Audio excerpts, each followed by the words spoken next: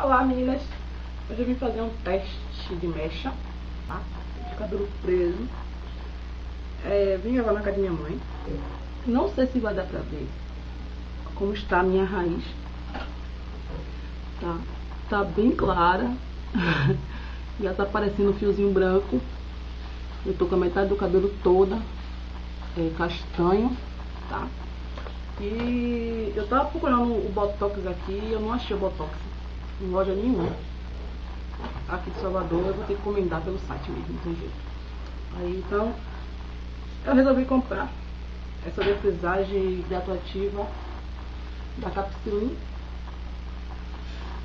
Tá? Depois eu faço uma resenha dela no blog, nos ativos, certinho.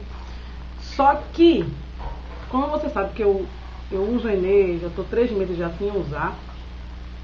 Então ainda tenho Enê no comprimento eu resolvi fazer o teste de mecha, né? Qual foi, Vera? Maria tá aqui, mano. Resolvi fazer o teste de mecha, tá? Minha cara de sono. Eu separei uma mechinha, peguei a mechinha daqui de trás, pra fazer o testinho de mecha. Eu vou mostrar rapidinho, mas depois eu faço um vídeo completo pra vocês. Eu, se eu não me engano, eu acho que foi 38 ou foi 33 reais esse, essa defrisagem é uma progressiva, tá? Ela vem com pacote de luvinha, que eu nunca uso. E vem com três negocinhos desses, tá bom? Um é o shampoo, o outro é o redutor de volume e o outro é defrisante. E o legal é que ele é em spray, tá?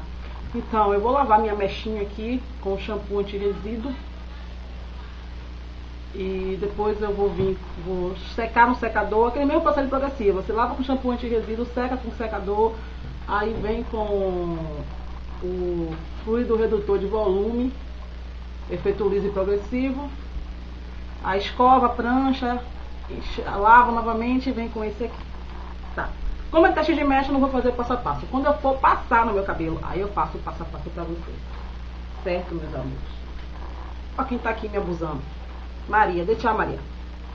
Pare, tchau, dê tchau. Pare, tchau. Olha pra lá pra câmera. Olha pra câmera, não é pressão. Pode deixar aí. Então, eu vou fazer o testinho de mecha e depois eu conto a vocês o que vai acontecer com o meu cabelo. Se eu vou poder passar no, no, no cabelo todo ou não, tá? Então, até daqui a pouco.